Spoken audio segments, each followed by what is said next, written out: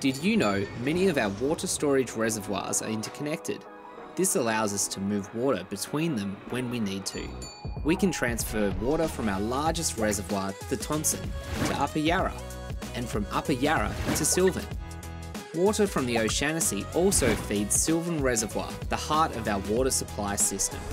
Sylvan then supplies water to most of Melbourne.